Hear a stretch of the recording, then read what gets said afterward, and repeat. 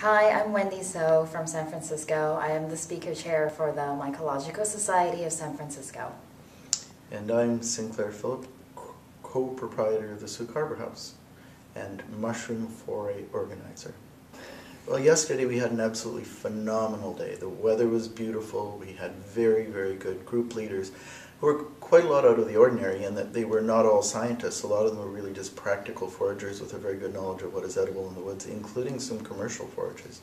So we had a very good group of people. We had beautiful sites. We, we, we were near rivers, we were near a mountain lake, we went into some beautiful hemlock forests, saw a little bit of spruce, went into pine forests, we found porcinis, we found the pig's ear, we found lots of chanterelles, we found puffballs, we found hedgehog mushrooms, we found probably at least 25 different kinds of very beautiful edible mushrooms in prime condition.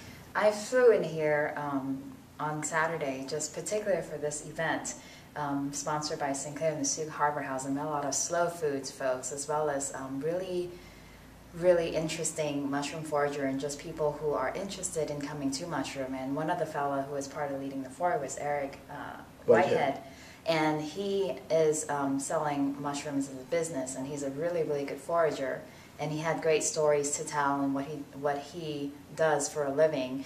And I've always kind of romanticized mushroom foraging, but actually it's really, really hard work. And he shows some clips where they're covered in sweat and having mosquito bites and being out there in the woods, it's definitely um, an eye-opening experience. And he was um, very, very fun, very, very knowledgeable experts here.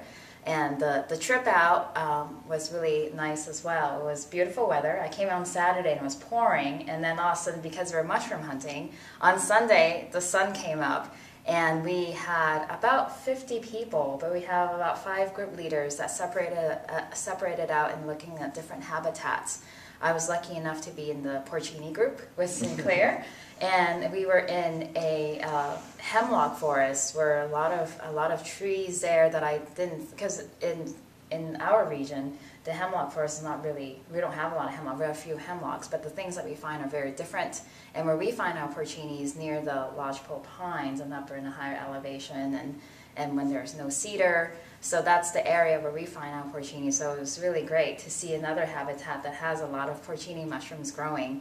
And I remember seeing one stump, which was my um, first porcini sighting of myself. Everyone was finding porcinis around me, and I was the one that haven't found them yet. And then there was one stump right in front of me, is a, um, um, a dead tree stump, but you know, obviously there's hemlocks all around, and near the stump was four different types of mushrooms growing. There was next to it, and I got a picture of this too. I don't know. I'll send it to you. There's a, um, a, a porcini about this size growing near the stump, and then deer mushroom growing on the side of the stump, and then there's the Lactarius deliciosus growing out on the wood. the stump with the four mushroom was fantastic. There were four kinds of mushroom, I think, of which three of them are edible, and the, the setting was surreal. We, we were uh, time constrained, but otherwise, I think I could spend another three hours in the forest. But everywhere you look were um, mushrooms, edible and non-edible kinds, and everyone was so excited. You can see the excitement in their eyes. And just thought, just when I thought it was um, one of the best day of the year for me visiting here, I had this really, really fantastic dinner from the Sooke Harbour House that uh, Robin Jackson had put together. This, this is actually his handwritten notes as he was creating and planning our meal. So this is a four-course meal that just um, was phenomenal. Last night we did a slow food mushroom event, and it was a, a dinner where we had four courses of everything mushroom that we could possibly fit in there. I went out a few days beforehand and foraged for a handful of different wild mushrooms. Got very lucky and had a fantastic day. Ended up finding some king boletus or porcini and the very first of, as far as I know, the Vancouver Island pine or matsutake mushroom. Don't get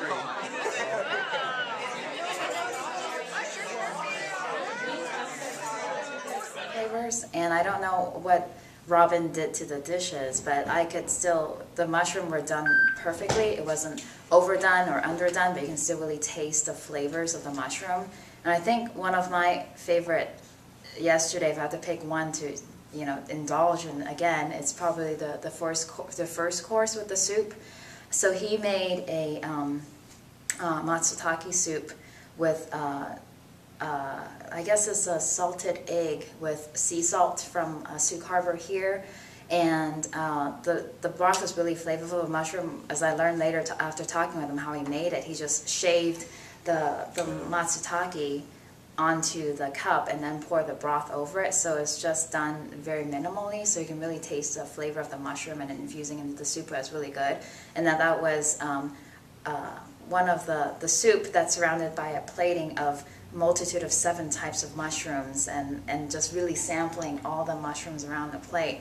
I think there was um, uh, porcinis and chanterelles and uh, um, mer- mer- admirable bolete that was on the plate, and then there uh, were yellowfoots, and there's just seven kinds. I don't remember all of them, but they can really taste the different flavors. And if you want, you can dunk it in the soup and add a little bit of the um, pine mushroom flavor, or just eat it plain. And I think that dish was really was kind of to me summarizes our forage of the day because that's all the mushrooms that we had put together. I have much more to say than what Wendy said, and, but um, yeah, I would agree that that the two outstanding dishes for me were the the the the first dish with with the um, the pine mushroom broth, and I love the idea of picking and choosing which ones you wanted to throw into the broth to add a little more flavor or to just make the flavor come out on those mushrooms. And and also the morels that we had in that in that third dish, I guess it was. Uh, I love the, the playfulness of the making the polenta and mascarpone um, look like the stipe of the mushroom. It took me a minute to even see what I was eating and then and, and really taste it, but it was, it was just a fantastic dish. And I've been to um, I've been to a lot of different uh, fungus fair and um, camps in California as well, um, different ones. And I would you know go again to to explore my horizon. But thus far, this is the best mushroom meal that I have. So I really had a good time. So thank you, Sinclair, for hosting it. Thank you so much for coming all that way to enjoy this foray meal with us. It was really, truly incredible. It far surpassed my expectations. There's no question about that.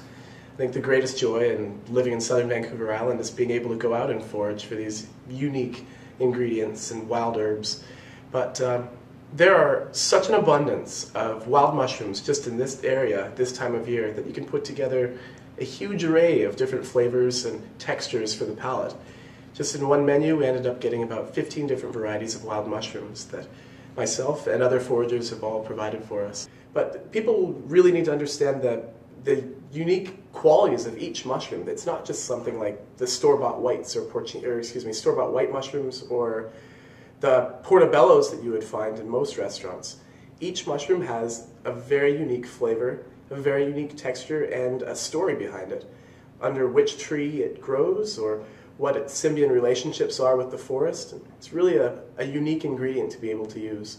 And for me, the funnest part is being able to do a, a grand dinner like this where every course was just studded with so many different flavors of mushroom. Our dinner was amazing. It was a really fantastic dinner. Uh, very, was there a standout dish, something you remember that you liked? oh, standout dish. I don't know. They were they were all uh, so good. Perhaps dessert, just because it's uh, not something that you you think of with mushrooms. Uh, That's right, the candy cap ice cream, and then the meringues in the shape. I thought that was cute. the it was a very sweet touch. Yes, yes.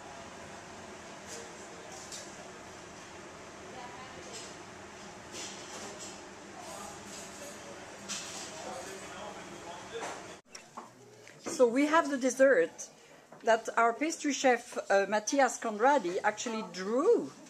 So you have, uh, you're going to have soon the kabocha squash pie topped with tuberous begonia mousse, glazed with bergamot and Japanese plum cherry, served with squash puree, candy cap mushroom ice cream, candy cap mushroom jelly, meringue mushroom, and candied chanterelle.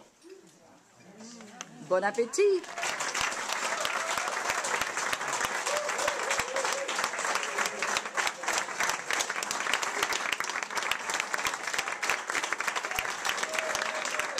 And what's amazing is everything here is like the local ingredients, and they would be able to put it in something so exquisite that you, you don't have to get it from um, an outsider, you know, imported or anything else. is just phenomenal. So I had, I think it was the best meal of the year and the best mushroom meal that I've ever had. I have to thank people for wanting to come and enjoy something like this, but in a restaurant where you can you can actually focus on wild ingredients and wild herbs and wild mushrooms and things, it's neat that people have the, the palate to be able to come and just want to explore and explore what food is on your plate and kind of get to learn a little bit of the history and background behind it.